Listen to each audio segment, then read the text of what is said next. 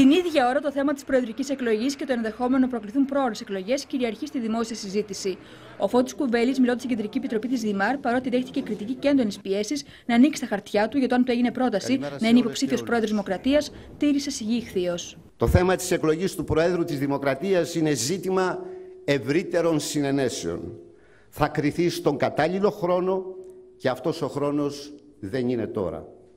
Θα κριθεί σε συνάρτηση με τις πολιτικές που ασκούνται.